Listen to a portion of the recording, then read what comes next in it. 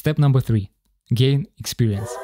As you probably know it without me, the job market is really tough right now. And uh, it's uh, a common thing that companies want some experience even for entry level uh, jobs that you apply to.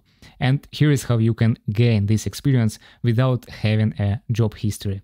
So, actually, what the company wants it wants you to have already a hands on experience doing what you are going to do in your job. And the way to achieve it is through projects that you can do on your own without actually having a job. And it's not complicated. You don't need to come up with some brilliant idea. You just need to Google uh, projects for data analysts. And there will be plenty of websites, plenty of articles, plenty of videos that will guide you through these projects and that will suggest you ideas that you can try on your own. So this is absolutely crucial step.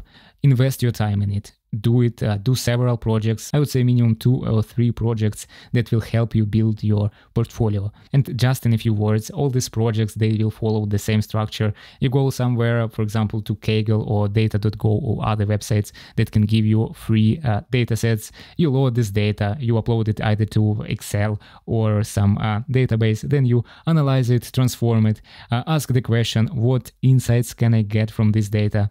And then once you have your analysis you try to do data visualizations based on this data and build a dashboard in uh, Or Power BI, again, free versions.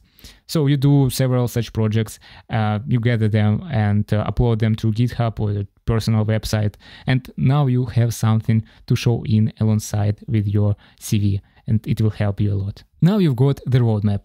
That's all you need, and now it's time to actually start the journey and start learning. I believe in you, stay consistent, and good luck. Follow for more no BS data career tips.